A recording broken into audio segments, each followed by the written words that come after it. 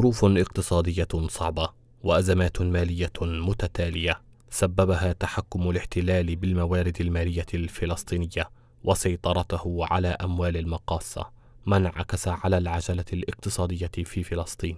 30 مليار شيكل إجمالي الالتزامات المالية المترتبة على الحكومة إذ بلغ الدين العام 12 مليار. وإجمالي تراكم المتأخرات للقطاع الخاص وصندوق التقاعد بلغ 18 مليار.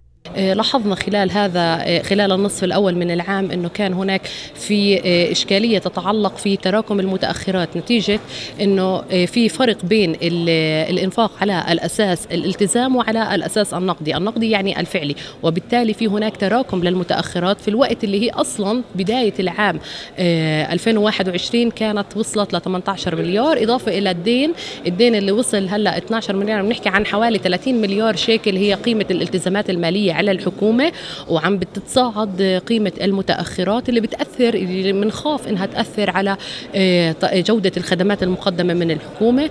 هذه الأرقام شكلت ضرورة للمزيد من الدعوات لنزاهة الحكم في إدارة الموارد العامة في المؤتمر الذي عقده الفريق الأهلي لدعم شفافية الموازنة العامة في مدينة البيره والذي شمل استعراضا لأداء الحكومة في إدارة الموازنة. في النصف الأول من العام الجاري. طبعا هناك مجموعة من آه، آه، الاستخلاصات والنتائج التي أظهرتها عملية التحليل تستوجب من الحكومة آه، مزيد من الشفافية مع المواطن الفلسطيني للإجابة على مجموعة من التساؤلات. على سبيل المثال فيما يتعلق بأداء الموازنة.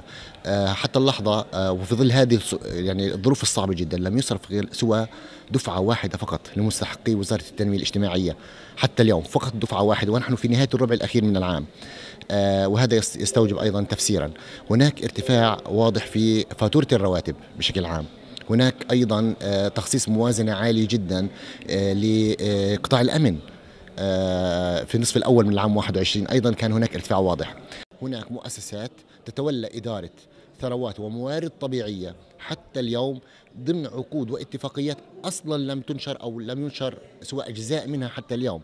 لا نعلم ما هي طبيعة هذا الامتياز ما لماذا هناك احتكارات حتى هذه اللحظة؟ الظروف الاقتصادية الصعبة والأزمة المالية ومحدودية الموارد استوجبت مطالبات بضبط الإنفاق والحد من الاقتراض.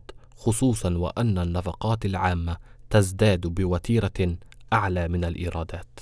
في مجالات كثيرة للسلطة ممكن تعمل فيها آه، ترشيد أو تقشف سميه ما شئت وهذه المجالات متصلة أكثر بالنفقات التشغيلية متصلة أكثر بصافي الإقراض متصلة بالتحويلات الطبية والقطاع الصحي. اللي شاعرين إنه فيها أو بتنطوي بنطوي الإنفاق فيها على آه، خلينا نسميه بعض هدر المال يعني اللي ما بيجيب قيمة.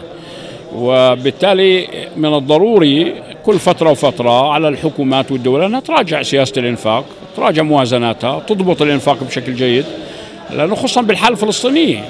ويعقد الفريق الأهلي لدعم شفافية الموازنة العامة هذا المؤتمر بشكل سنوي.